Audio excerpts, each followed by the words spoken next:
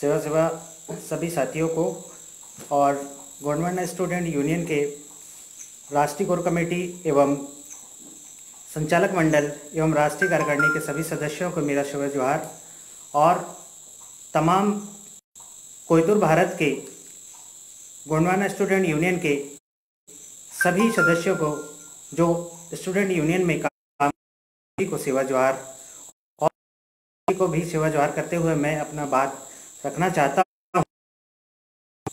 सबसे पहले मैं स्टूडेंट यूनियन की बात करूँगा। स्टूडेंट यूनियन जो है, जैसे कि विगत कई वर्षों से हमारा संगठन जो है संचालित है और संगठन संचालित होने का उद्देश्य सबसे पहले कोयतुर भारत के कोयतुरियन और ट्रैवल कम्युनिटी के लोगों को ऊपर उठाना है। और स्टूडेंट यूनियन का जो मुख्य उद्देश्य है, शिक्षा के ऊपर सबसे ज़्यादा है कि हमारे जो बैकवर्ड एरिया में जो लोग हैं, उन तक जो शिक्षा सही तरीके से पहुँच नहीं पा रही, उसके ऊपर भी काम करना और प्राकृतिक धरोहर को भी बचाना हमारा काम है। गुणवाना स्टूडेंट यूनियन इन तमाम क्षेत्रों में लगातार काम करते हुए विगत 2012 से, अभी 2020 में कोयतुर भारत के 11 राज्यों में फैल चुका है गोंडवाना स्टूडेंट यूनियन। जैसे कि आप सभी जानते हैं कि 11 राज्यों में हमने स्थापित किया हुआ है और ये 11 राज्यों में संचालित है। तो ये हमारी पूरी टीम की एक ताकत है और पूरी टीम की ये काम है टीम के रूप में, परिवार के रूप में हम काम करते हैं। स्टूडेंट यूनियन जैसे कि ये किसी एक व्यक्ति के द्वारा नहीं बनाया गया है, न ही किसी एक व्यक्ति के कहने से ये चलता है। ये एक पूरा परिवार की तरह है। इसमें सभी जो कार्यकर्ता हैं और सभी पदाधिकारी हैं, ये परिवार के सदस्य की तरह हैं। न तो इसमें कोई अपना व्यक्ति विशेष कोई ऐसा स्थान नहीं है। और अब दूसरी बात मैं कहना चाहूँगा कि जो हमारे बीच जो शिक्षा, जो भारत सरकार की जो नीति है, शिक्षा की नीति जो है, उसके ऊपर बात करना चाहूँगा। शिक्षा की नीति वो इतनी पुअर कंडीशन पे चल रही है, मैं उसके ऊपर बात रखना चाहूँगा। साथियों, आप सब देख रहे हैं कि हमारे बैकवर्ड एरिया में जो है, शिक्षा की क्या स्थिति है? उस शिक्षा की स्थिति को सुधारने के लिए जीएसयू जो जीएसयू का जो परिवार है वो लगातार कार्यरत है, संघर्षरत है और क्योंकि इस पुअर कंडीशन से निकलने के लिए हमारी जो स्थिति और ज़्यादा पुअर होती जा रही है कि हमारे जो बच्चे हैं, वो क्यों नहीं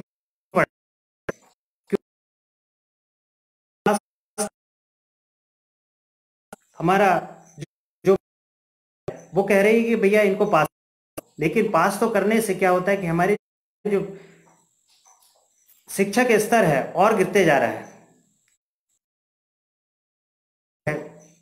हमारे बच्चे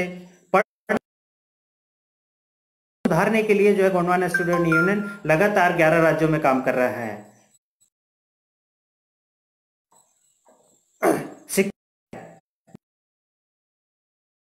कि हमारे बच्चे जो है कॉलेज से निकलने के बाद अगर वो कॉम्पिटेटिव एग्ज़ाम के लिए प्रिपरेशन करें तो उनको ये लगे कि हम किस स्कूल से पढ़े हैं। जैसा कि मैं कहना चाहूँगा कि सरकारी स्कूलों को छोड़कर हमारे जो बच्चे हैं प्राइवेट स्कूलों की तरफ़ उनका रुझान बढ़ रहा है और पेरेंट्स का भी रुझान प्राइवेट स्कूलों की तरफ़ जा रहा है।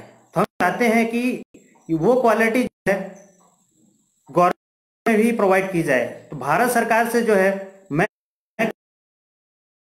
सोशल मीडिया के माध्यम से कि, कि स्थिति है उसको सुधारने के लिए और उनकी जो नीति है, उसको सुधारने आने वाले समय करेगा। कि हमारे बच्चों की स्थिति इतनी खराब हो चुकी है, क्योंकि टीचर स्कूल में जाता पेमेंट लेने के लिए, क्योंकि उनके अटेंडेंस लगाने के लिए जाता है कि हमारे बच्चे, क्योंकि बच्चों की संख्या जो है दिनों दिन स्कूलों में कम होती गवर्नमेंट, जितने भी गवर्नमेंट स्कूल हैं, वो कुछ दिनों में बंद होने की तादाद में है। अगर हम देखते हैं कि वो स्कूल बंद हो जाएँगे तो हमारे जो गरीब तबके के बच्चे हैं, वो कहाँ जाकर पढ़ेंगे? तो दोस्तों, मैं आप लोगों से कहना चाहता हूँ कि हमारे जितने भी, आप जिस सारे गवर्नमेंट स्कूलों को आप बचाएँ आने वाले समय में गवर्नमेंट स्कूल अगर नहीं बच पाएँगे तो हम लोग हैं वो शिक्षा शिक्षा विहीन हो जाएँगे। तो दोस्तों, मैं ये कहना चाहता हूँ कि आप जो है स्टूडेंट यूनियन के माध्यम से उन स्कूलों को बचाइए और लगातार आप विज़िट कीजिए। विज़िट करने का कहने का मतलब यह है कि वहाँ जाकर देखिए कि वहाँ की स्थिति क्या है, कि टीचर वहाँ पर अवेलेबल हैं। कितने टीचरों की ज़रूरत है और कितने अवेलेबल हैं या नहीं है। तो इन सारी चीज़ों को जो है स्टूडेंट यूनियन के माध्यम से हम पूरा करेंगे।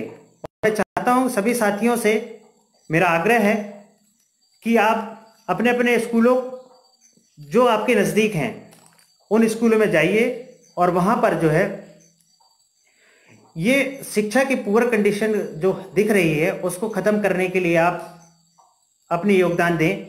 मैं यही कहना चाहता हूँ कि हम इस पुअर कंडीशन को जल्दी ही खत्म करेंगे, तब जाके जो है हमारे गरीब तबके के बच्चे अच्छी क्वालिटी वाली शिक्षा प्राप्त कर सकते हैं। तो दोस्तों मेरी बात आप लोगों को समझ में आ रही होगी कि मेरा जो कहने का मतलब है कि हमारा जो गवर्नमेंट है, भारत सरकार जो है, वो हमारे लोगों को शिक्षा से दूर रखने के लिए उनकी रणनीति किस तरीके से चल रही है, उस रणनीति को बदलने के लिए हमें आंदोलन करना होगा रोड में आना ही होगा। तो मैं स्टूडेंट यूनियन की तरफ़ से आप तमाम भारत देश के कोयतूर देशवासियों को ये कहना चाहता हूँ कि प्राइवेट स्कूलों को बढ़ावा मत दीजिए गवर्नमेंट स्कूलों को बढ़ावा दीजिए।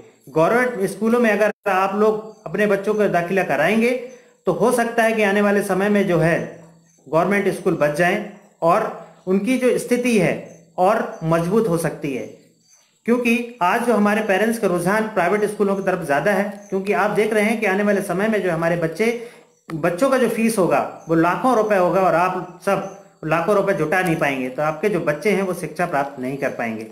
इतना ही कहना चाहूँगा मैं सेवा सेवा सेवा जोहार।